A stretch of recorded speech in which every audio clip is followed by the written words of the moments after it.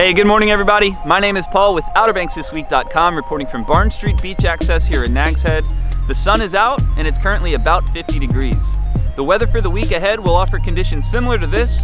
We're looking at sun every single day this week and highs in the 50 to 55 degree range. It'll be a windy week for the most part as well, especially Tuesday and Wednesday where the projection is for winds up to 30 miles per hour.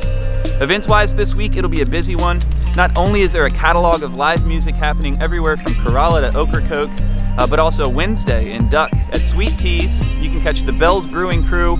They'll host Music Trivia Bingo. It's a national circuit they do. It looks to be a great time. And then Saturday afternoon at Coastal Provisions and Southern Shores, it's the 11th annual Outer Banks Chowder Cook-Off. You're want to get your tickets now for that one as it's liable to sell out. That's all I've got for you at the moment.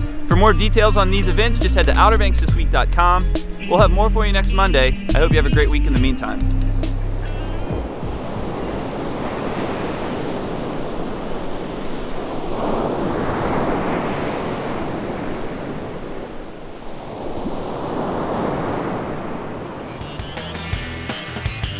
OuterBanksThisWeek.com.